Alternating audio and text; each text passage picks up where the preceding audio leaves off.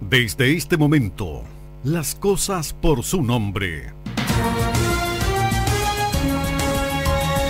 Justo al mediodía, en Magallanes, usted escuchará 60 minutos de una opinión crítica, un análisis crudo de la realidad regional y nacional, la voz del periodista Juan Ignacio Ortiz y la puesta en el aire de Luis García Barría.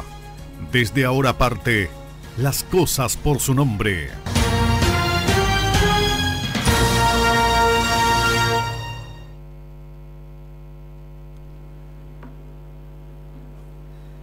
Estamos partiendo una edición especial de Las Cosas por su nombre, un programa eh, en el cual vamos a entrevistar a una de las figuras políticas más emergentes de nuestro país y obviamente vamos a salir por todas las plataformas, estamos saliendo por YouTube, estamos saliendo por Facebook Live, también vamos a, a salir por supuesto por radio, por el 95.3 FM y también obviamente por televisión, por Pingüino Multimedia.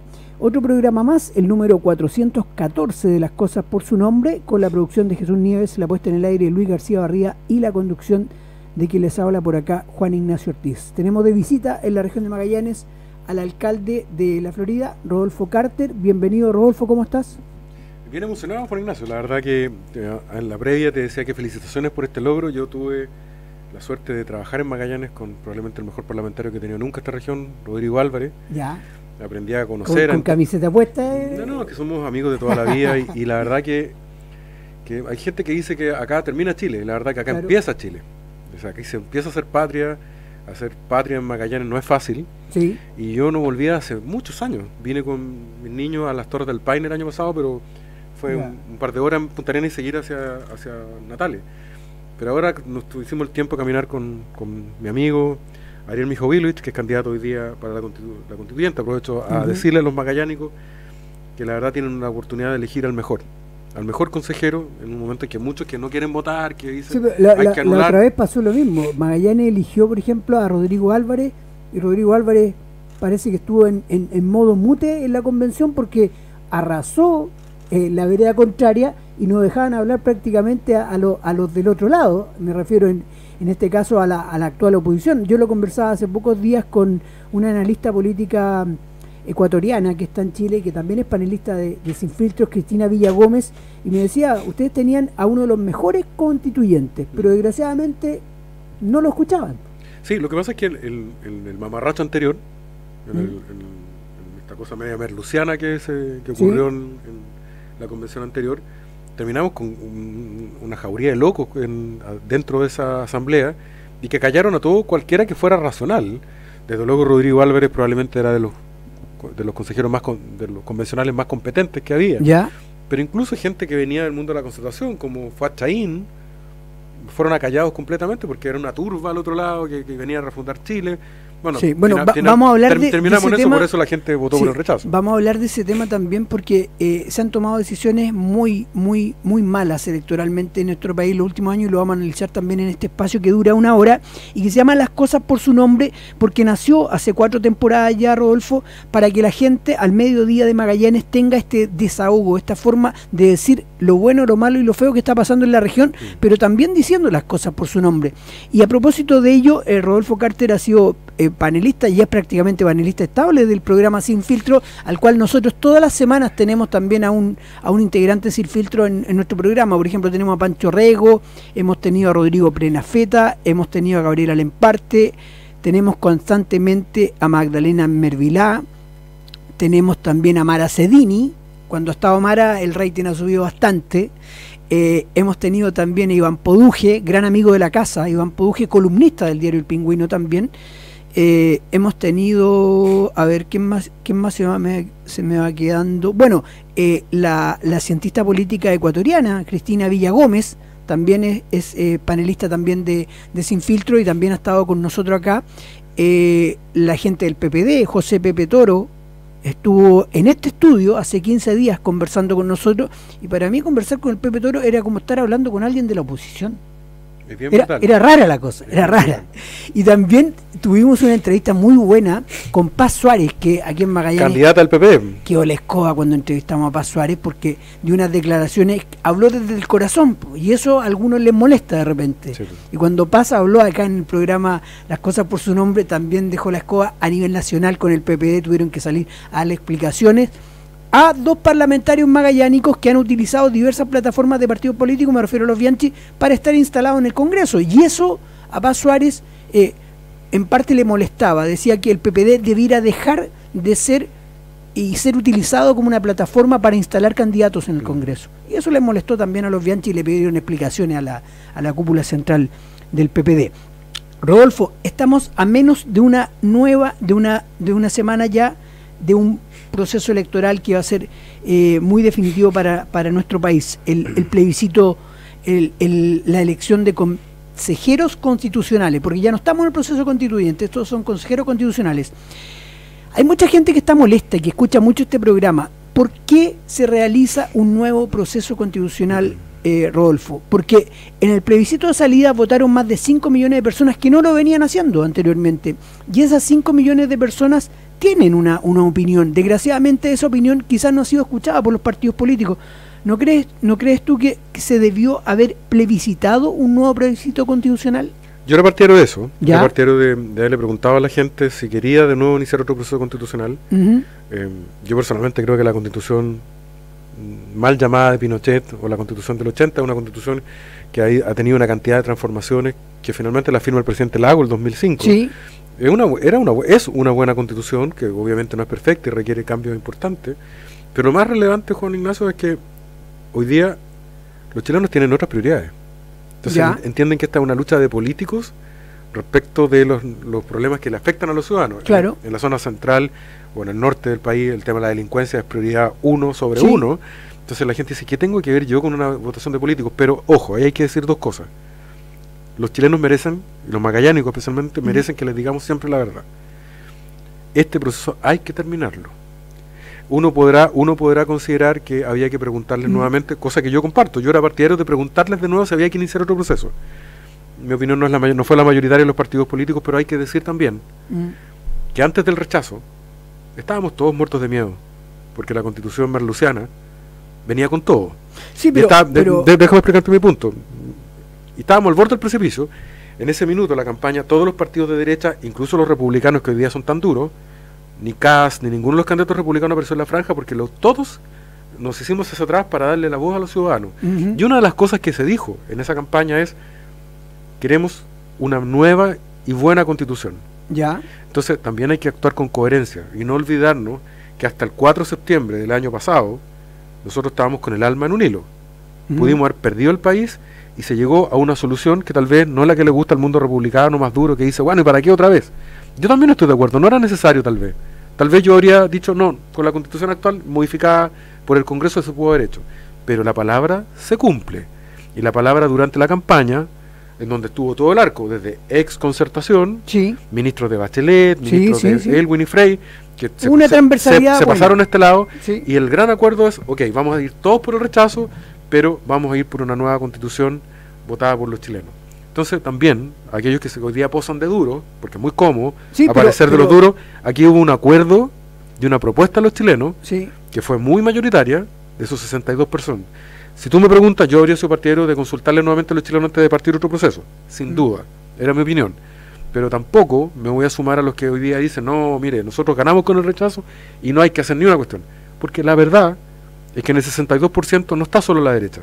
No, no, en el 62% hay un montón de chilenos del mundo de la centro izquierda. Por, lo mismo te lo, te lo señalo, Rodolfo, porque el escenario cambia del 4 al 5 de septiembre del año pasado, eh, cambia el escenario y nos damos cuenta de que eh, no son 8 millones los chilenos que votan. Con 8 millones salió electo Gabriel Boric, me refiero al total, al mm. total de los que votaron el, el 19 de, mm, de diciembre del 2021, cuando Boric le gana a Kass.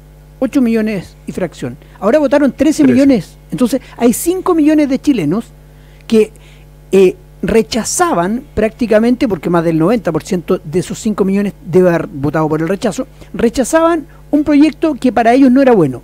Pero también esos 5 millones de personas eh, tienen una voz y esa voz es exigir hoy día mejores pensiones, mejor salud, Mm. mejor educación. Entonces, ya nos gastamos 224 mil millones de pesos en el proceso anterior. Mm. No sé cuánto nos vamos a gastar ahora en esto. Y además del tiempo y la inflación, como está, y todas las familias acogotadas, entonces mucha gente dice, ¿por qué seguimos en esto cuando las necesidades reales de la gente que nos está escuchando hoy día en Pingüino Radio, que es mucha la gente que, que hasta ahora prefiere la radio, la número uno de Magallanes, eh, no, como que este, el proceso no la convence y va a ir a votar porque quizás es obligatorio y va a participar y, y porque se reencantó nuevamente quizás con la política, pero esa gente hoy día tiene otras prioridades. Estoy totalmente de acuerdo contigo, dímelo a mí, yo estoy amenazado de muerte por el tema narco. ¿Mm? Tengo claro, para mí la prioridad número uno son mis niños, mi familia y mi comuna. Sí, O sea, no me tienes que convencer a mí que estamos totalmente de acuerdo en eso. Pero ¿sabes en qué consiste la coherencia política por lo cual uno tiene que ser respetable? Es tratar de mantener una, una, una posición coherente respecto a la opinión pública. sí, Yo era partidario del rechazo en la entrada y en la salida. Yo me hubiera quedado con la constitución tal como estaba Ya. o reformada. ya. Yo nunca fui pinochetista, pero reconozco... Pero tú perteneces a la clase política. Mm, Sí, soy un político, efectivamente, y- pero consideraba que esta constitución le había dado prosperidad y paz a Chile, que se podían hacer reformas y no, no se necesitaba un proceso nuevo. Yo siempre pensé eso. Ya, Pero también sé que llegado el momento, cuando estábamos al borde del precipicio, con una constitución horrorosa, una cosa demente, que iba a dividir el país en 14 naciones, con distintos sistemas ju- eh, judiciales para todos los chilenos, que no iba a condenar a la pobreza. En ese minuto había que salvar el país. Y la única forma de sumar una mayoría muy grande que, que se diera a la derecha, porque claro, es muy fácil decir, no, yo estoy en contra y voto rechazo, rechazo, rechazo. mm, No somos la mayoría de los que estamos en esa posición mm, había que atraer a muchos hermanos nuestros, compatriotas, que son igual de patriotas, que quieren a Chile y que han votado tradicionalmente por la Ya, izquierda. hay- Y esa gente se sumó en el rechazo, siempre y cuando hubiese una nueva constitución escrita en otras condiciones. claro. Y lo más relevante en esto, y te quiero invitar al el pasado ya está. Sí. Y yo probablemente estoy contigo en varias de las cosas que has dicho. Yo no habría escrito una nueva constitución, habría reformado la actual. Eso me parecía razonable. Ya. Y estoy de acuerdo contigo que las prioridades de la gente son otras. Pero, primero, discutir sobre lo que ya ocurrió no aporta mucho ya. No, no, sí, y lo pero- más- pero y- es bueno- es bueno y- que y la lo- gente lo- y lo- y también- lo más, y lo más importante respecto a lo que va a ocurrir hoy día, ¿a quién le conviene que haya mucha gente enojada que no vote o anule? ¿A quién le conviene? al gobierno. Al gobierno, a la, a la cultura merluciana, que va a tratar de volver con su idea de dividir el país en distintas naciones, de tener un sistema judicial por cada nación. Entonces, yo lo que, lo, lo que llamo al mundo que está enojado. O sea, compartiendo la razón, Sí, no, yo, comprendiéndolo. Ojo a quien le sirve ese enojo. El que no va a votar le está ayudando a la izquierda. El que vota nulo no está haciendo ningún negocio, le está ayudando a la izquierda. Lo que a mí me parece más relevante, tenemos que cerrar este proceso de una buena vez. O sea, yo encuentro, yo encuentro ridículo, por ejemplo, la campaña que está haciendo el senador por Magallanes, Karim Bianchi, y la diputada Camila Musante, que están llamando a anular eh, definitivamente o a no votar. Entonces, eso no es una contribución electoral, po, porque ellos están ahí gracias a sus electores. No ellos estamos- fueron yo no- no- no estoy- elegidos democráticamente. Entonces, yo no entiendo cuando un parlamentario está llamando a, a no participar de un proceso electoral. O sea, el que crea que, la verdad que con el mayor respeto hacia la, hacia la dinastía Bianchi. Eh, yo no votaría jamás por ello, pero son parlamentarios que los magallánicos eligieron y que por tanto son personas que yo respeto. Claro, Me parece que es nefasta la actitud porque están cultivando su feudo electoral, claro. pensando lo que a ellos les conviene. Y finalmente cuando la gente no vota en este tipo de cosas, ¿quién se beneficia? La ultraizquierda nomás. Ujú. Entonces, mucho cuidado con comprar huevo de pato, eh, porque finalmente el no ir a votar lo único que favorece a los extremistas, lo único que favorece a las políticas radicales de la izquierda.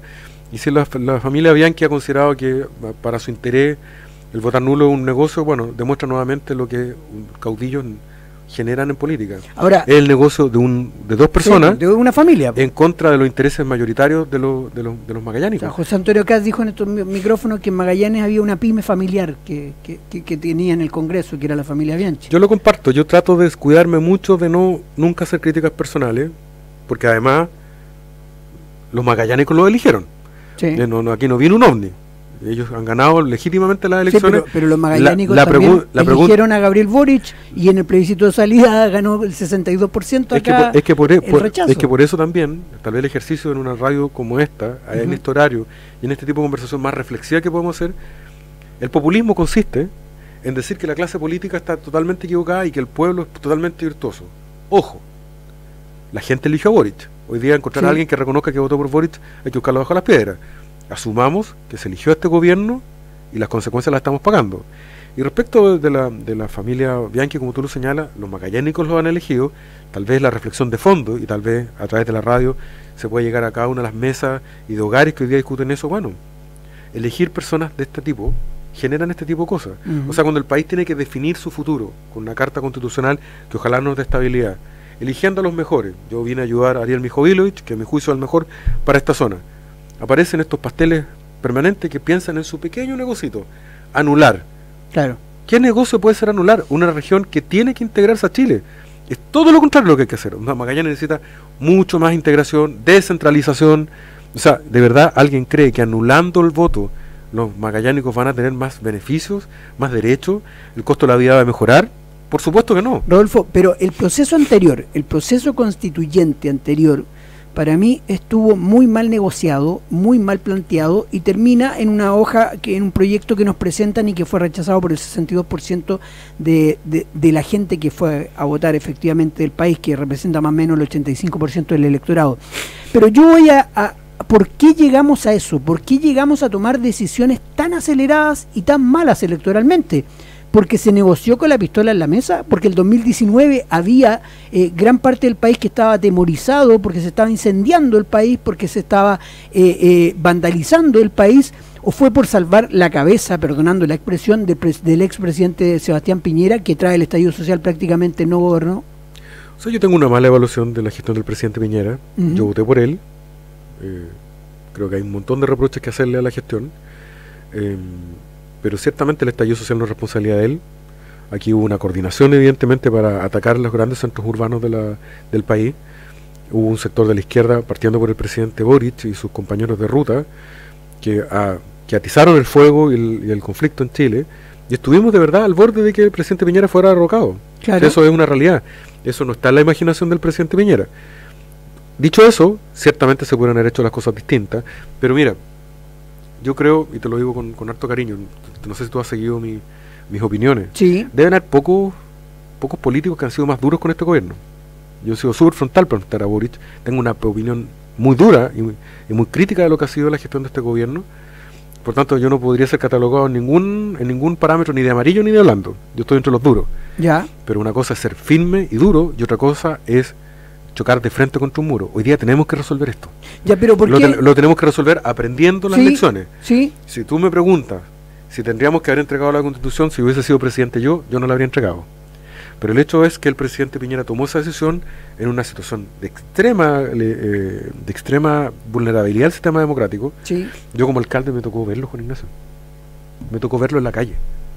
Las Fuerzas Armadas sobrepasadas por la totalmente, violencia en la calle. Totalmente. Y llegó un minuto en que era una situación binaria. Mm. O los militares cargaban sus armas y se llevaban por delante 500, mil muertos y no sabremos en qué habría terminado. No lo sabemos. No sabemos tampoco qué habrían hecho los militares. Los militares también tienen una memoria de que los juicios de derechos humanos están aquí a Sí, la vuelta po. de la esquina. Por tanto, analizar esto del- en la academia es fácil, pero en la práctica es, tenías militares que estaban pensando, mi suegro está preso, mi tío está con un juicio pendiente, me voy a meter en esto si no sé si la clase política me va a respaldar. Sí. Hubiese sido, ¿cuál hubiese sido el efecto de 500 o de 1000 muertos en la represión? Es otro país. Mm. Piñera, que estaba en esa decisión tan radical, optó por entregar la constitución como una forma de abrir una negociación y de, de, de congestionar la Sí, pero, que había en la pero calle. se hizo toda la pinta de, de lo que quería la entonces oposición. Sí. O sea, el proceso, la forma de elegir esas listas cuando aparece la lista del pueblo, aparecen independientes sumándose a otras listas, es una forma de elegir que no es democrática, no es democrática, porque en el proceso constituyente anterior, lo que hablábamos al principio, se pasó a la retroexcavadora y prácticamente se hizo una, un proyecto constitucional a la pinta de unos pocos que claramente tenían la mayoría, pero la mayoría de un proceso mal, mal ejecutado, mal seleccionado. No, sin duda. Como te digo, yo no esquivo, yo tengo un rol distinto. Yo no soy ni parlamentario Mm. ni nunca fui funcionario de gobierno. A mí me tocó dirigir una comunidad, una comuna importante que sufrió en primera persona la violencia del estallido social. Nos tocó enfrentar junto a carabineros a los maleantes. Se intentó quemar hasta mi casa en algún minuto durante el estallido. Por tanto, sé de lo que te estoy hablando. Y pese a que fui testigo pre- de primera línea de lo que fue en los días más violentos del estallido, para algunos magallánicos probablemente esto es más desconocido, pero algunos también lo conocen. El paradero 14 de, Avenida de, la Florida es el cruce de dos avenidas muy importantes, Américo Vespucio con Vicuña Maquena. Ahí están los centros comerciales, es el segundo cruce más importante de la región metropolitana. El sábado 18, 19 de octubre, ardía por todos lados. Mm. Y te voy a contar algo que hoy día se puede liberar. Llegó el comandante jefe del ejército, el señor Martínez, señor como de 3 metros de alto. estaba ardida por todos lados y yo llego a hablar con él porque la verdad estábamos en presencia policial y yo le pregunto al general Martínez, ¿qué vamos a hacer? Me dice, yo no voy a hacer nada, yo no me voy a Punta Peuco. Agarró su cosa y se fue. Esa era la realidad en ese minuto. Claro. Yo me pregunté, y esto es la primera vez que lo cuento en un medio de comunicación, yo no sabía si me quería mandar un mensaje para el gobierno o el señor tenía muy poco criterio. Pero ver al comandante jefe del ejército agarrar sus cosas y mandarse a cambiar demostró en el momento en que nos encontrábamos. O sea, juzgar hoy día esos hechos desde la distancia, no digo que sea fácil, pero había que estar ahí. Yo fui testigo de primera, de, primera fuente. Yo personalmente habría sido mucho más duro, no habría aceptado ninguna de las condiciones impuestas por la violencia. Yo creo que la democracia se defiende al costo que sea porque finalmente los violentos que nos impusieron este proceso se salieron con la suya porque claramente hubo atemor, se atemorizó el sistema. Ya, pero después de ello viene una elección y la gente eh, crea en una, comillas, nueva forma de hacer política. Y esa nueva forma de hacer política en un año y un mes de, de mandato, para ser exacto, un año, un mes y casi 20 días, hemos visto lo mismo de siempre. Pitutos, amigos, familiares. El gobierno del presidente Boric. Claro, entonces ¿Por qué es tan fácil el electorado chileno para tener una bipolaridad que los últimos 15 años nos ha hecho muy mal? Porque hemos pasado de un gobierno a otro y, no se han concretado grandes proyectos y grandes obras porque pasamos de un extremo al otro. ¿Qué no está pasando en los últimos 15 años? No, no, no.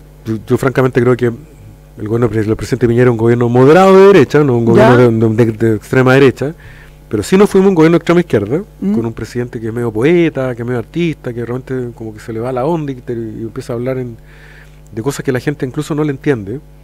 Em, yo creo que puedo sumarme a tu crítica y te podría añadir mucho más elementos para la crítica. O sea, hay errores fundamentales que se han cometido y, los vamos a analizar también. Por ejemplo, el, tema de los indultos, o sea, ese y mucho más. Pero, si, a mí me, echáis ficha, me echáis un par de monedas, yo te puedo, te puedo hacer un programa entero de crítica al gobierno, pero yo quisiera colaborar con una mirada un poco más de largo plazo a la gente de Magallanes.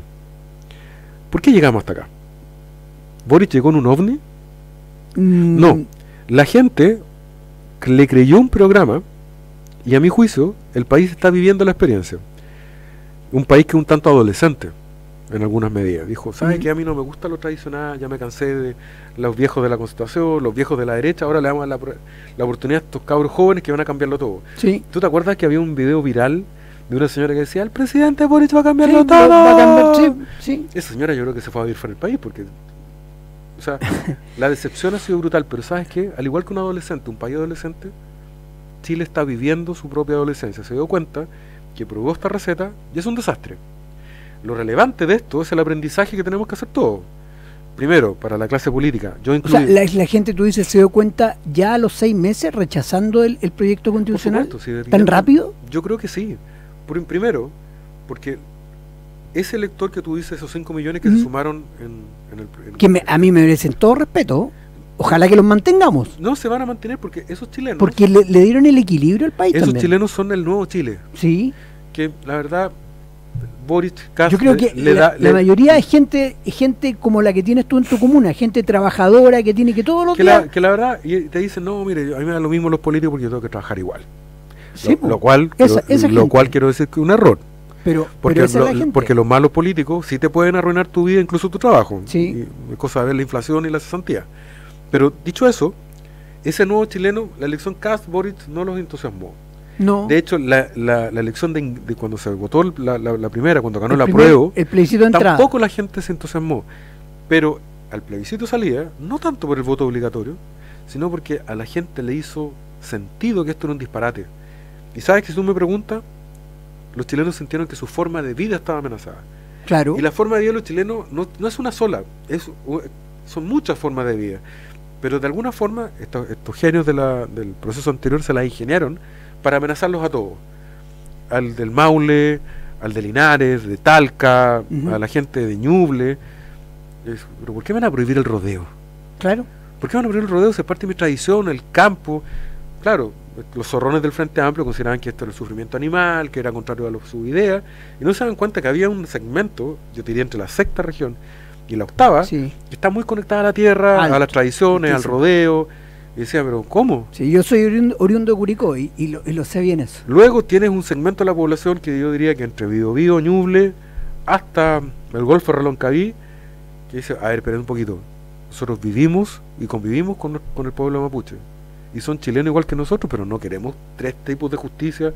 O sea, si a usted me va a decir que el día de mañana yo choco con una persona de origen mapuche, voy a tener que ir a un tribunal mapuche a pedir mi indemnización. O sea, atentó contra el sentido común de ese otro sector. Y en el norte, donde yo estuve la semana pasada, el, tema, de, el tema de la inmigración le aterrorizó a toda esa gente. No, es tremendo. Ah, yo no sé si tú has podido estar en Iquique. Sí, yo he estado, yo he estado en, en, en Antofagasta. Iquique tiene Cabancha, una de las playas ellos se sienten orgullosos, no se puede caminar, lleno de carpas de inmigrantes. Entonces, bueno, ahora en Hornitos el fin de semana también se llena de carpas, cercano a Antofagasta, y la gran mayoría son migrantes. Entonces, este, grupo de gobierno, más sus aliados de la Asamblea Constituyente anterior, se encargaron de crear un monstruo que aterrorizó en distintas versiones al chileno del norte, al chileno de la zona central, al chileno del sur y también a los magallánicos. Mm.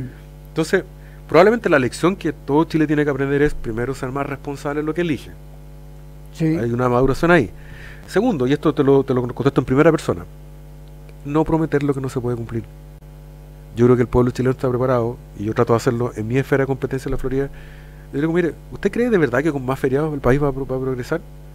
¿Usted cree que solo con bonos va a progresar? Si usted lo sabe igual que yo, el bono de marzo de la presidenta Bachelet son un poco de plata para cambiar el televisor y usted termina mm. más endeudado. Lo único que cambia la vida, y los magallánicos lo saben mejor que nadie, es un país en paz, seguro en la calle, con empleo y ojalá que con sueldos lo más altos posible y que con el tiempo vayan mejorando. Todo lo otro es mentira. Se siguió esta ilusión del Frente Amplio, de un presidente que era poeta, con el perrito y el, arbolito, que fue muy romántico, pero los chilenos dijeron, a ver, pero aguántate un poco. Eh, buena onda tu perrito, buena onda tu arbolito, pero yo tengo que llegar a fin de mes. La gente, de, mira, la gente que está en el rango de los 40 años, ya no tiene acceso al crédito para comprarse una casa. No, para nada. Por las tasas de interés, porque la, el, el, nivel de vida hoy día está tan alto, está tan, está tan, está tan caro, que a veces, ok, yo me gusta el arbolito, pero quiero tener casa propia. Sí. Y, nadie va a vivir de la poesía del presidente Boric y sus reflexiones un mm, tanto trascendentales, que de repente son tan grandilocuentes. Y ya, ya hay un dato adicional, y yo hasta me da un poco de pena por él. Los voy a perseguir como perros. Sí. Eh, y al final la final la gente hace el contraste entre sus frases grandilocuentes y la realidad dice, los va a perseguir como perro de día y en la noche firma los indultos a los mismos delincuentes que atropellaban policía. Claro. Entonces, la contradicción y la falta de cumplimiento de las promesas tiene al pueblo chileno muy disolucionado, pero para los que estamos en política también es una oportunidad de aprender. O sea, aunque, haya que, aunque haya que ponerse colorado, hay que acostumbrarse a decirle a veces a la gente, no se puede. No se puede. Eh, te, invito a que en el, en el YouTube del Pingüino eh, revises una reciente entrevista que le hicimos a la, a la cientista política ecuatoriana Cristina Villagómez. Cristina llegó dos semanas antes del estallido social a vivir a, Santiago. Llegó dos semanas antes de vivir y ella nos hace una, una completa analogía de los últimos cuatro años mirado desde afuera, mirado desde una ciudadana que veía a un Chile en Latinoamérica como el hermano mayor, que lo veían como el Chile perfecto, el Chile que le iba bien, el Chile que era el ejemplo para el resto de Latinoamérica. Y ella también hace la analogía, ¿qué nos pasó? Definitivamente, ¿qué nos pasó? Ella se quedó a vivir en Chile, trabajó el año pasado en la Asamblea Constituyente como mm. asesora, también trabajó muy cercana también a Rodrigo Álvarez y nos señaló eh, duramente, y sale, eh, fue portada del diario El Pingüino también, eh, que quienes hoy nos gobiernan aplaudieron a quienes quemaron el metro. Y eso, Rodolfo, tú que, que, que, convives a diario con la delincuencia que nosotros aún la tenemos un poco lejana, un mm. poco lejana en Magallanes, porque el narcotráfico ya llegó acá también, pero ese, esa validación un poco de el quemar el metro, el saquear supermercados, que lo hicieron autoridades que hoy día se arrepienten incluso y que como que tratan de, de hasta borrar los Twitter, eh, ¿validó definitivamente que se instalara eh, la delincuencia en Chile? Mira, el 18 de octubre yo estaba con licencia médica, estaba con neumonía. Y esto partió alrededor de las 6 de la tarde cuando se empezaron a saltar los torniquetes y empezaron a quemar las estaciones. Y esto se desató alrededor de las 9. Yo me saqué la vía, salí con retomé el cargo de alcalde y alrededor de las 12 de la noche, 1 de la mañana, con el mando policial recorrimos las estaciones. Era como que hubiera pasado un huracán, un tornado. No quedó nada, nada, nada. Tú ¿de dónde surgió toda esta violencia? Claro. Y evidentemente fue una violencia coordinada. No, no cabe ninguna duda que, que, es imposible que al mismo tiempo se quemaran todas las estaciones de metro. Sí. Si tú me preguntas, se mezclaron muchas cosas. Se mezcló una acción coordinada contra la infraestructura crítica de la ciudad de Santiago. Detrás, el narcotráfico y las bandas se dieron cuenta que la policía no daba abasto y se sumaron al desorden. Y detrás de ellos apareció un político oportunista como Boric, Camila Vallejo, George Jackson, que dijeron, mira, esta es una oportunidad. Y se sumaron muy alegremente, y permíteme contarlo, yo lo, dije en el, en el aniversario de Carabineros, que fue muy emotivo el, último, después de los mártires que hemos tenido. En la Plaza Italia derribaron la, estatua del general Baquedano. Sí. Alegremente trataron de ocultar nuestra bandera detrás del humo de las barricadas. Le gritaban a nuestras carabineras puta, maraca, antes que paca. Hoy día tienen que ir a rendirle homenaje a la suboficial Olivares porque es una mártir. Claro. Se han tenido que comer todos sus discursos. ¿Perdimos la batalla contra la delincuencia? Se han, tenido que comer todos sus discursos y hoy día los chilenos no le creen, desde luego, pero lo mm. más importante, los delincuentes no le creen, porque no los toman en serio. No. saben que esto es una chacota. Por eso, por eso mismo. o sea, por eso, ¿qué delincuente hoy día va a tomar en serio a un país que ejecuta mal un proceso de indultos, por ejemplo? Bueno, es que a eso, eso te quería responder desde el punto de vista personal y compartirlo con, con la gente de Magallanes. La gran lección para todos los liderazgos, mm. para mí, para Ariel Mijovilovich, que quiere ser ahora representante para el Consejo Constitucional por esta región, primero es atreverse a veces a pasarlo mal diciéndole a la gente lo que no quiero oír. Mm. Ya basta de ofertas que no se pueden cumplir. Ni la puerta giratoria de Piñera, ni Boric lo va a cambiar todo. Digamos, hagamos un esfuerzo por enfrentar las cosas como son. Cuando a mí me toca derribar casas narco, me preguntan siempre, siempre, ¿le tiene miedo? Sí, pues tengo miedo, pues obvio, si yo no soy Superman. A mí me dijo el fiscal cuando me pusieron protección policial, lo más probable es que se acerque un Uber, una de estas motos que andan en Santiago, se va a acercar a su auto y le va a poner un tiro y esto se acabó. Así funcionan en Colombia. Colombia, Colombia. Y la verdad que me da miedo por mí, por mi familia, mis niños, pero no tengo opción. ¿Y sabes qué? Los chilenos tampoco la tenemos. Este es el minuto 90 del partido. O peleamos o los, narcotraficantes, los delincuentes siguen con nuestro país. Por eso cuando yo escucho muchos reclamos, y con esto no te estoy eh, reprochando lo que tú me decías respecto del proceso anterior, ok, hay razones para reclamar, pero sabes que a mí lo que me urge es cómo sacar adelante esta crisis. Sí. Hay, hay mucha crítica, hay mucho reclamo que es válido, pero si no sacamos esta pega rápido, los únicos que ganan son los delincuentes, son los narcos, porque ellos tomaron nota hace mucho rato que, tenemos siento, que, estamos perdiendo esa batalla, porque la imagen del presidente Boric arrodillado ante la esposa de ante la madre, perdón, del, del cabo Daniel Palma, fallecido hace poco más, poco menos de un mes, eh, para mí es como Chile de rodillas ante la delincuencia. Chile de rodillas, Chile está perdiendo la batalla con la delincuencia puedo estar de acuerdo contigo que, que, probablemente este gobierno no tiene las mayores competencias, pero mientras dure este gobierno, los que estamos en la oposición tenemos que empujar para que aunque no les guste, lo hagan. Ya se aprobó la ley Naim Retamal, que es un avance. Tú has visto que ya los carabineros están con un mayor nivel de tranquilidad en la calle, mm. al menos para poder usar sus armas, pero ahora falta todavía el equipamiento. Mira, te quiero contar algo que los, los magallánicos tal vez no saben. ¿Tú sabes cuántas veces al año entrenan los carabineros? Muy pocas veces. Una vez al año. Sí, pues. ¿Sabes, ahora, ¿sabes cuánto en promedio, le, cuántas balas le, entregan en promedio? Entre 8 y 20 balas. ¿Tú sabes, por ejemplo, que la mayoría de los, de los policías en Chile no tienen chalecos antibalas individuales? ¿Sabes cuál es el, alcance que tiene un arma de puño policía? Este es un dato sí. bien importante. Un arma de puño de nuestras policías, que la mayoría son revólveres de 6 tiros, tiene 50 metros de alcance efectivo. Tú sabes, las armas que usa el narcotráfico tienen hasta 400 metros de alcance. O sea, claro, y, no hay ninguna posibilidad de enfrentarlo mientras no lo equipemos. Con, con, la Taurus, que tiene tan solo 7 tiros. 6 tiros. 6 tiros cuando la Jericó tenía mucho más y, y, le eliminaron. Lo que ocurrió, yo estuve, mira, yo estuve en, en, en, el, en, Quilpué, me tocó estar en la, en, la unidad policial al día siguiente, me tocó ver llorar a los carabineros. Es bien impactante Por ver. eso, esa cicatriz, esa cicatriz está abierta. Esa cicatriz pero, ah, pero ¿Sanará en algún momento? Mm, te, te contesto al tiro. Primero, me fumé un cigarro con ellos Y me empezaron a contar todo lo que te estoy contando yo. Las condiciones en que trabajan. Mm. O sea, no tienen capacitación, no tienen entrenamiento, no tienen el equipamiento.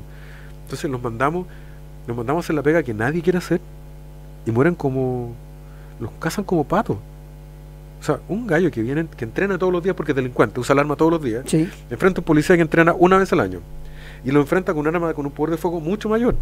Entonces, finalmente, es un escándalo moral mandar a nuestros hijos y a nuestros hermanos que visten el uniforme policial en estas condiciones. Es una inmoralidad. Es una inmoralidad que no solamente es responsabilidad de este gobierno para ser justo, ha sido un abandono de muchos años. Mm. Pero en este gobierno en particular, especialmente por lo contradictorio que ha sido después que lo escupían, que lo insultaban, que lo trataban de puta, maraca, antes que paca, es duro decirlo, pero eso les gritaban. Por eso, y ese, Entonces, eh, ese descrédito se sanará. Sí, se va a sanar, yo lo, te lo digo con harta convicción. Yo me emocioné mucho en la 36 comisaría. Porque, porque, por ejemplo, un carabinero, cualquiera de nosotros ha tenido en más de alguna oportunidad que recurrir a carabineros por ABC motivo. El carabinero cuando llega a un procedimiento en el cual está involucrada una persona, no le pregunta si tú eres del Frente Amplio o No, republicano. nada. Mira, El carabinero actúa. déjame contarte mi testimonio personal. El día del tiroteo, hace dos semanas atrás en la Florida, ¿Mm? Nosotros tenemos una relación muy cercana con la policía. Me, me- me- me avisaron por la red de comunicación interna de la municipalidad que teníamos tres carabineros caídos. Ya. Y llegamos cuando estaban los helicópteros aterrizando en una cancha municipal y ayudamos. Yo personalmente ayudé con una camilla a subir a uno de los carabineros heridos arriba del helicóptero que se lo llevó al hospital institucional. Lo sentimos como propio. Son nuestros hermanos, son nuestros hijos. ¿Sí? O sea, en la medida que nosotros no entendamos que los policías son nuestros hermanos más valientes, estamos perdidos. Nosotros hemos tratado de hacerlo en la Florida. Y lo segundo, cuando se viene, vino el aniversario de Carabineros hace dos días atrás, llegó uno de ellos, con el brazo en cabestrillo, ya estaba con el alta, pero. y se cuadró. Y, a mí se me cayeron las lágrimas de emoción. Porque dije, mire, los que nos gobiernan trataron de esconder nuestra, nuestra bandera detrás de la barricada y el humo. Trataron de callar con su insulto nuestro himno nacional. Y trataron de refundar a Carabineros. La sabiduría de Chile, finalmente nuestra bandera flamea, al igual que el borde del estrecho, más orgullosa que nunca. Nuestra estrella brilla más que nunca y nuestro himno lo cantamos con más orgullo y Carabineros está de vuelta. Mm. De lo que se trata en este Consejo Constitucional queremos nuestro país de vuelta.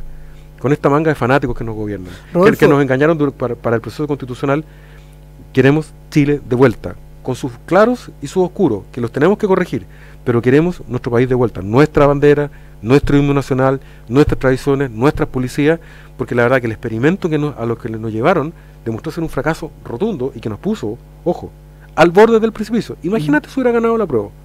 ¿De qué estaríamos hablando? Claro. Probablemente te estarían llamando al Consejo de Control de Medios de Comunicación, Sí. porque probablemente Pingüino Multimedia le incomodaba al presidente Boric.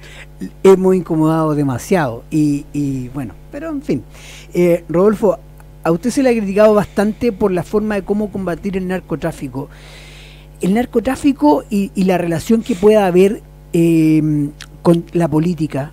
¿Existe hoy en Chile? ¿Podría existir hoy en Chile? Porque existió en otros países. Tenemos el ejemplo de Colombia, donde el, el- el tema del narcotráfico y la política se vincularon muy fuertemente en la década de los 90 y el país no terminó de buena forma. Las críticas que hemos tenido a mí me- me- me- no deja de sorprenderme porque es inversamente proporcional la crítica que hemos tenido de una élite mm, que se presume intelectual con la reacción de la ciudadanía en la calle. Yo veo a personajes muy encopetados desde sus condominios en el sector oriente de Santiago con una botella de whisky en la mano, opinando de algo que no conocen. No saben lo que significa una casa narco en la mitad de un barrio que somete a sangre y fuego a barrios completos Sí. niños que crecen con un papá que trabaja en la construcción ganando 600 lucas y al frente con el castillo del narco, un auto 40 millones estacionado, ese niño ¿en qué mundo crece? Claro. Eh, crece en el mundo del estudio, del esfuerzo, de su superación, con un señor al lado que le está diciendo ven y trabaja para mí. Claro. Entonces, esa elite que realmente eh, se, tra- se trasnocha en, en su ideología, choca con la enorme mayoría de los, de los chilenos que, que tiene clarito que la destrucción de la casa narco no es el fin de la historia, ni siquiera es la medida más importante. Lo que, le- lo que los chilenos vieron en eso, y a nosotros no nos deja de sorprender, por fin alguien hace algo, alguien pelea. Mm. Entonces, me pasa en el avión ahora en Punta Arenas, me decía, oiga, no bajen los brazos, tienen los pantalones bien puestos, y otras palabras que no vamos a decir en la radio. Ya. Pero, pero finalmente lo que los chilenos esperan de sus autoridades, de un alcalde, pero más todavía de un presidente, pelea por nosotros. Ujú. Pelea por nosotros y no por tus amigos Alcalde, apicotándonos las pegas. ¿La migración habrá influido en alguna parte en el... En el ¿Me dejáis responderte la pregunta previa? Sí. ¿Y esto por qué es tan importante pelear ahora contra el narcotráfico? Porque lo que me hiciste es la pregunta es la más importante de todas. Si no peleamos ahora, el Sí. narco va a comprar un general Por eso. a un almirante, o sea, a un el- juez. El, narco está vinculado a la corrupción directamente. Entonces, esa cosa media racista que tenemos los chilenos, no, nosotros somos distintos. Mm. Perdón, el jefe de la- del, del Departamento Antinarcótico mexicano terminó preso Sí, porque estaba comprado por las bandas narcos. Entonces, perfectamente el día de mañana podemos tener un general de carabineros, un general de ejército, un ministro de la Corte Suprema, un diputado, un alcalde, hasta un presidente sí. comprado por los narcos. Y no te olvides nunca que los colombianos despertaron a la pesadilla del narcotráfico cuando Pablo Escobar decidió matar a un candidato presidencial en vivo y en directo. Sí. O sea, cuando estos tipos deciden pelear, lo hacen en serio. Entonces, pelear ahora con ellos, cuando todavía podemos ganarle, es fundamental.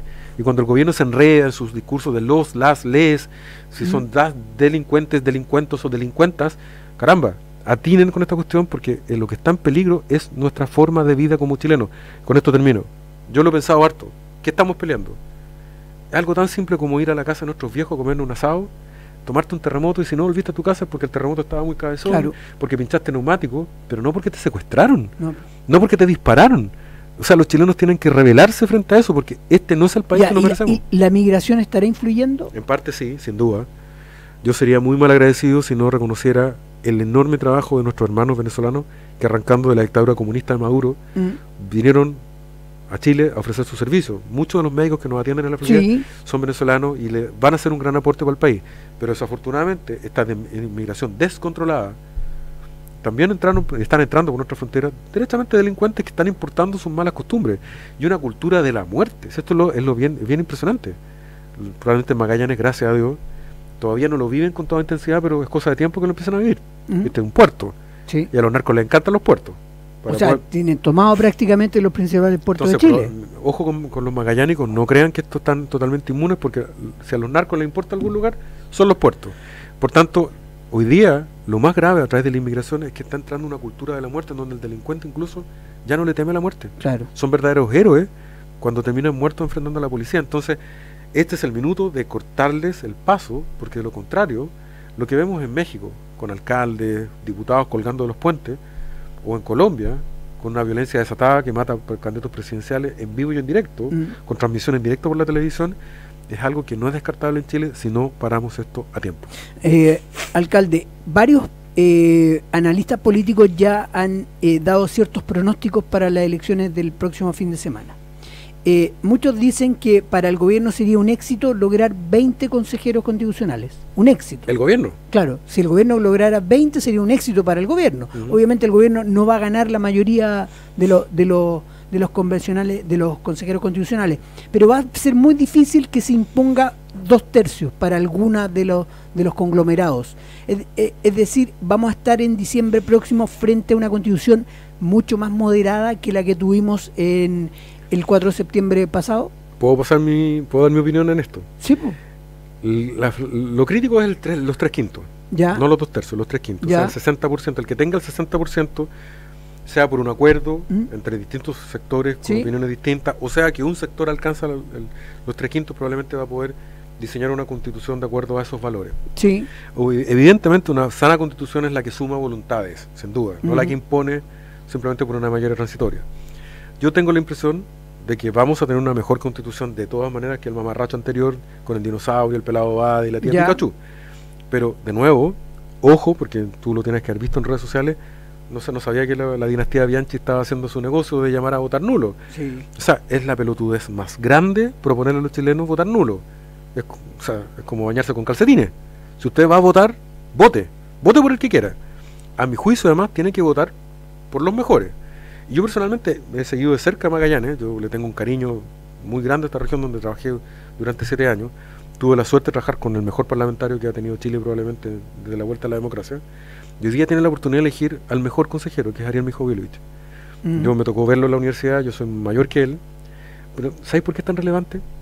Porque aquí los, los tienen que hacer dos cosas. Tienen que elegir a alguien de la zona, que lleve la voz de la zona y los sentimientos de los magallánicos para la Sí, construcción. porque de- en, en el proceso anterior, no, no sé si supo usted, alcalde, eh, los Bianchi trajeron a Mauricio Daza, totalmente afuerino, Mm. y Mauricio Daza nunca más lo vimos por caminando por la No, calle no está- no- No, está equivocado. nunca más Yo lo- vine, yo vine en mayo del año pasado con mis niños Ya. a las Torres del Paine y pasamos al Sotitos Bar. Estaba comiendo unos locos con mayo. Ya, pero el año pasado. Parece que lo único que vino a comer locos con mayo, lo único que de la cuando, región. cuando estábamos en el proceso Sí. constituyente y él ya había sido electo constituyente. Sí, pero mire. Pero la- de ahí nunca más lo vimos. Sí, está ¿Y bien. qué hizo por Magallanes en el proceso? Cero, sin duda cero. O sea, Pero- era fácil lucir la chapita de Magallanes o, o poner la bandera en el estrado, pero por Magallanes nada, Pero- nada. pero lo y, y ojo que ese error, ese error de votar por alguien afuerino que no sea de la región, no lo habíamos vivido desde, si no mal recuerdo, 1993, Mira, con algún parlamentario. Pero de ahí en adelante fueron puras personas ligadas, ligadas a la región de Magallanes. pero tú estarás de acuerdo conmigo, Juan Ignacio, que el, el estado de ánimo del país cambió. Este es un país que, por eso te decía con harto cariño, o sea, el humo de, la, de las barricadas hoy día nos permite ver nuestra bandera de nuevo. Claro. Cantamos un himno nacional con más cariño que nunca y los carabineros están de vuelta. O sea, este país está distinto respecto a la locura en que entró hace tres años atrás. O sea, ojalá. Pero yo creo que sí, hay, bueno, hay una cosa, y, y- yo como servidor público, como político, si queréis, estoy condenado a ser optimista. Por muy duro que sean los días que vivimos, hay una salida. Es que, que Y yo la- te y- lo decía, ojalá, porque, porque ¿sabes por qué? Porque aquí hay dos esquinas emblemáticas que se incendiaron. Una, calle Magallanes con Avenida Colón. Mm. Estaba, había una FP ahí. Costó tres años para que un inversor volviera a construir ahí. Se está Mm. construyendo ahora ahí. Y la otra esquina, Colón con Boris. Fue quemado el local de, de la empresa Claro. Y nadie, nadie se ha atrevido en estos casi cuatro, tres años y medio más o menos desde cuando se incendió a invertir ahí. Son dos esquinas emblemáticas y comerciales 100% de una región, de una, de una, de una capital regional como Punta Arenas. Entonces, eh, el que el inversor, el inversionista privado, quien debe atraer mayores capitales a una región que se acostumbró a vivir del papá Estado, desgraciadamente, y el papá Estado no se ha portado bien ni siquiera con la región, eh, es importante. po. La economía magallánica cayó en los últimos Pero tres esto- años. mira, estamos totalmente de acuerdo, pero te comparto mi propia experiencia. Mm. ¿Tú crees que cuando yo veo el narco actuar en las poblaciones no me deprimo? ¿Tú crees que cuando veo la inoperancia del Estado de repente dan ganas de bajar los brazos? No es opción. Hay que pelear. Hay que Ujú. defender lo correcto. Cuando yo peleo por, por- por lo que yo creo que es justo, combatiendo a los narcos, también se aplica a pelear por recuperar esta región y tener una buena constitución. Evidentemente, todas las críticas que tú has dicho son reales y la gente las siente. Pero hoy día, lo peor que puede pasar es hacerle el juego a los Bianchi o a los que quieren que se vote nulo para que el gobierno pueda imponer de nuevo sus consejeros constitucionales y tener otro mamarracho constitucional. Hoy día hay que ir a votar por lo que la gente quiera y si los, los- los ciudadanos de Magallanes valoran algo, en mi opinión, yo si viviera acá, tengo claro por quién votaría, sería por Ariel Mijovilich, porque además, ¿sabéis por qué es relevante? Porque sabe de lo que van a discutir en la Convención Constitucional. Mm.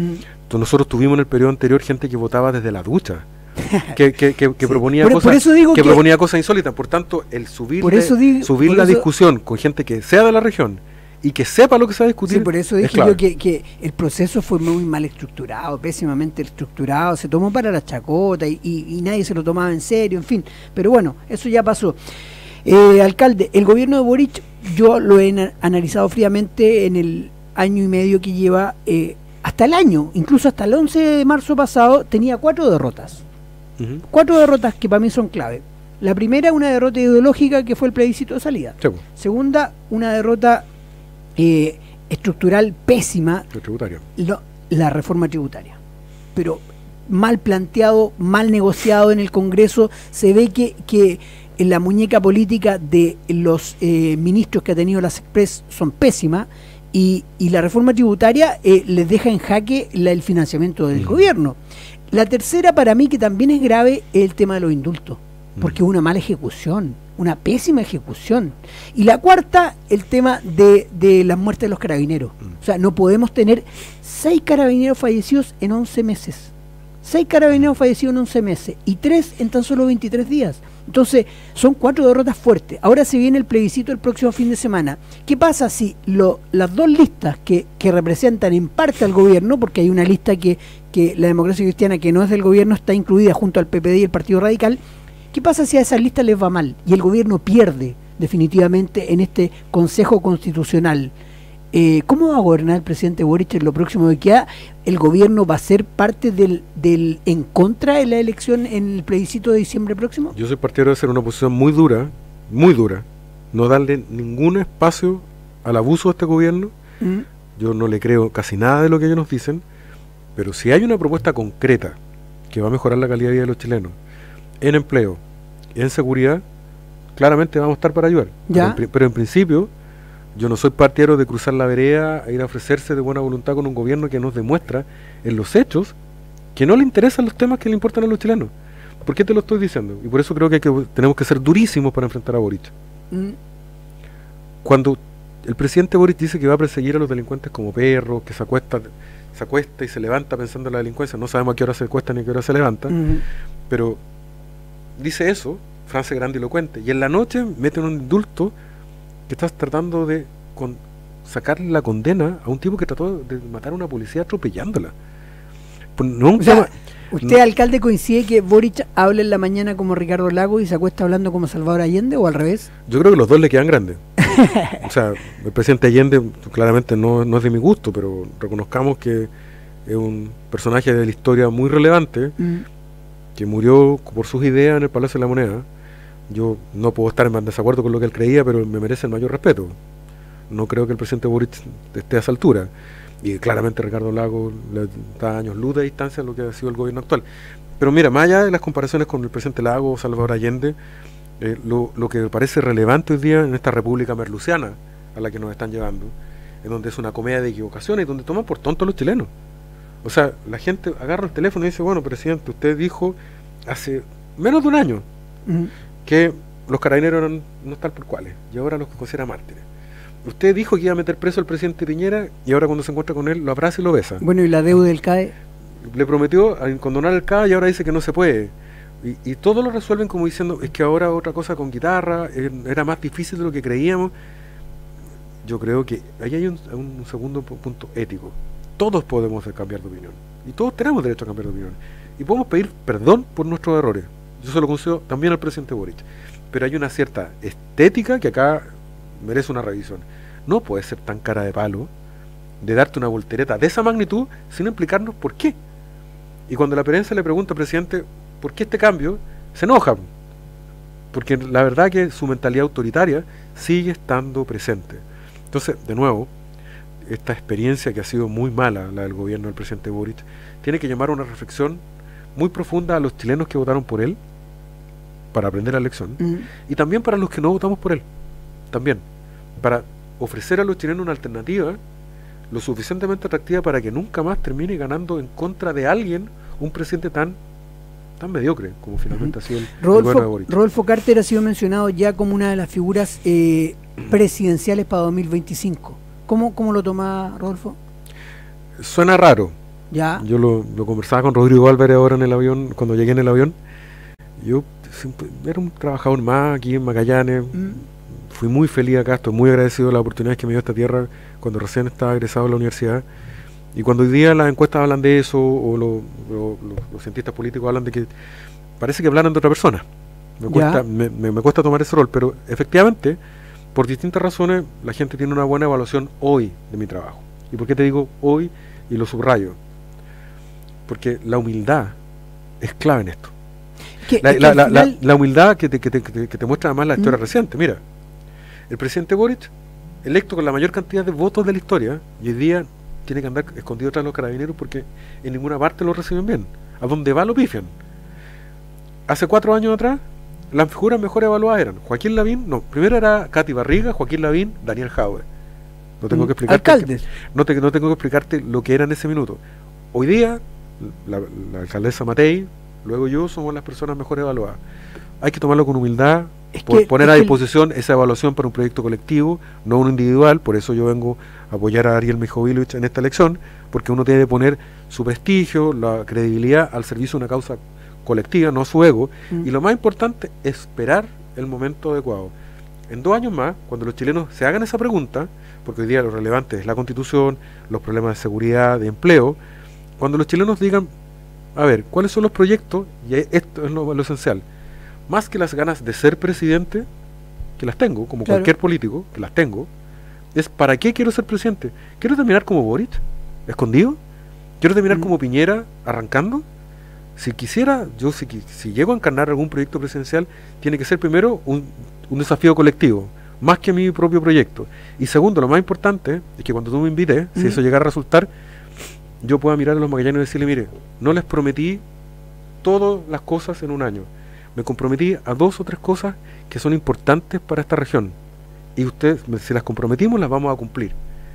Y alguna vez cuando les diga que no, les voy a dar la cara. No voy a estar escondido ni taimado como el señor Boric. ¿Usted, usted a, las cosas por su nombre como presidente le daría una entrevista? Sí, por supuesto. Es que al presidente Boric le hemos pedido dos y no nos ha dado. Sí nos ha dado Camila Vallejo, pero no al presidente Boric. Lo que pasa es que el presidente, yo tengo una mala opinión de él, pero es tan, es tan mal el ambiente en que está viviendo que yo creo que él no tiene mucha ganas de hablar con ningún medio.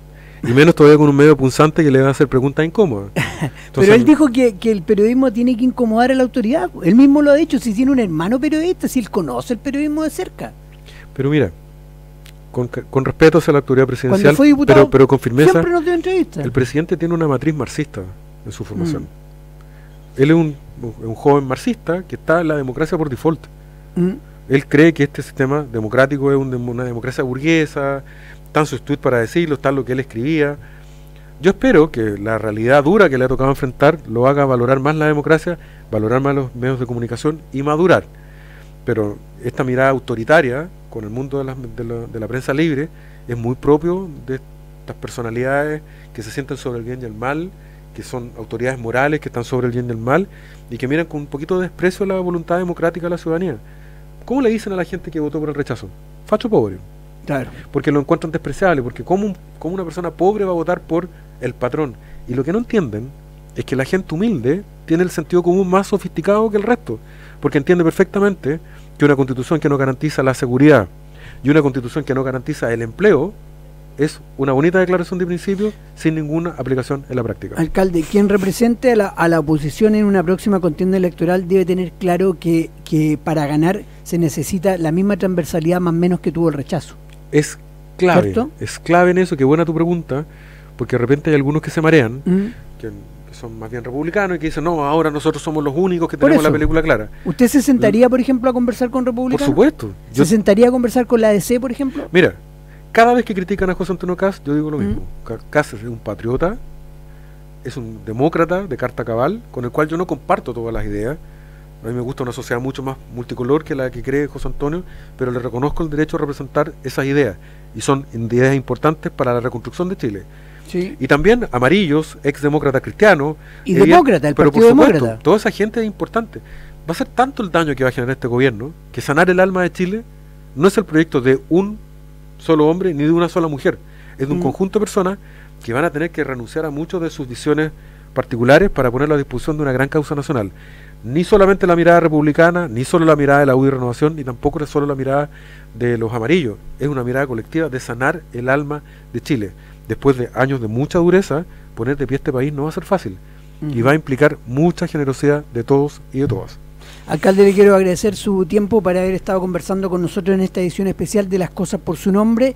Eh, bienvenido a, la región de Magallanes y bienvenido también a ser parte de este programa. O sea, Yo te, dejo, te dejo mi teléfono, podemos hacer un enlace en vivo, podemos Sí, nosotros, nosotros tenemos programas de lunes a viernes de 12 a 1, que en esta ocasión en Santiago es de 11 a 12. Ten cuidado con la invitación, porque después no reclames, porque tú sabes cómo me pongo cuando me invitan. No, pero si no, no, no, aquí, no hay problema. Ah, lo, que te quiero, lo que te quiero junto con agradecer la invitación es primero agradecer a la vida haber partido mi carrera acá. En Magallanes. Muchos amigos que yo quiero mucho, algunos de los cuales ya partieron. Murieron hace un par de años, personas mayores que yo. Eh, Pepe Marín. Ya. Pato Corcoran, que me acabo de enterar ahora que murió hace poco tiempo atrás. Hace dos meses más. Lo, guardo gran recuerdo. Bueno, ¿para qué voy a hablar de Rodrigo Álvarez, que ha sido como mi hermano mayor en política? Y también Ariel Mijovilich, que me ha, me, que me ha sorprendido tan, tan bien en este último tiempo. Y hacer un llamado a la esperanza a la gente buena de Magallanes, que le pone el, el hombro a la vida, que en la aves australes, la población ave australes. ¿Cuántas veces me tocó recorrer esa, esa población, a esa gente, llenarlas de esperanza? porque vamos a sacar la pega adelante, pero lo importante es que vayan a votar este 7 de mayo, que voten con orgullo por la bandera, por nuestras tradiciones, por nuestra familia, pero que voten bien, por quien quieran. Y si me escuchan a mí, en mi opinión, yo les doy mi palabra que no me habría pegado el pique esta Magallanes si no creyera que Ariel Mijovilich es lejos el mejor candidato para representar a Magallanes en la Asamblea Constituyente. O sea, no vino por lo que venía Mauricio Daza. No, no, no, no, no, no, no, en ningún caso. No, ningún caso. Es muy bonito volver siempre a Magallanes. Mira, hay cosas que solamente los magallánicos tienen. Acá la, el sol sale por el mar. Sí, en el resto del país sale por la cordillera. Está en una tierra única y además con una posibilidad de desarrollo con las nuevas energías. Ojalá. Tremenda. Ojalá, porque estamos viendo una crisis acuícola que nos tiene medio nerviosos. Lo sé, pero no tengo que yo enseñar a los magallánicos lo que los magallánicos le han enseñado a Chile. Aquí no termina Chile, aquí empieza Chile. Mm, muchas gracias. Estamos terminando esta edición especial de Las Cosas por su Nombre con el invitado que tuvimos hoy día, el alcalde de la Comuna de la Florida, Rodolfo Carter, que es en la sintonía. Nosotros nos encontramos mañana, siempre al mediodía, para volver a decirle a usted simplemente las cosas por su nombre. Chau, chau. Fueron 60 minutos de análisis, información y aguda opinión crítica a la realidad regional y nacional. Fue Las Cosas por su Nombre con la conducción del periodista Juan Ignacio Ortiz y la puesta en el aire de Luis García Barría. Pingüino Radio, 95.3 FM y 590M. Usted fue partícipe del análisis regional y la opinión crítica de lo que está pasando. Fue Las Cosas por su nombre en Pingüino Radio, en directo por YouTube y Facebook Live. Nos volvemos a juntar cuando sea el mediodía en Magallanes, en el 95.3 y 590M.